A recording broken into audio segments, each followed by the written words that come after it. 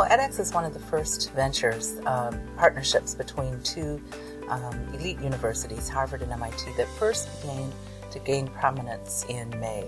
And it was an, an attempt by Harvard and MIT to offer massively open online courses that would be available to students worldwide for free.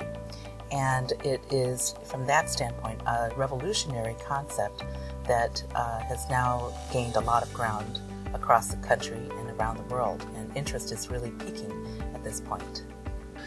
In this class, we divide the student to group of the three, that they are working together as a team.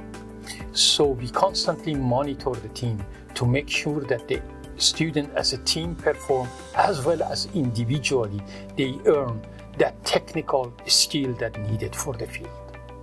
If every semester a student were here, they had a class that promoted teamwork, I think we would see our graduation rates improve dramatically.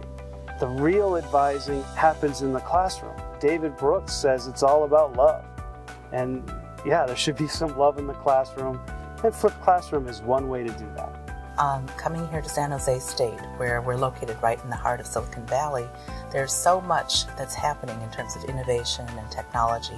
And it seemed like the right time for this institution to really step up and try and utilize some of the new technology for the purposes of improving student learning. That's probably the best thing about the classroom is that I can watch the lectures anywhere.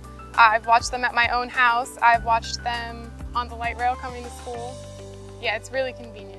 Students today, of course, are digital natives, so it makes sense for them to come into class and spend quality time interacting with the professor, interacting with fellow students.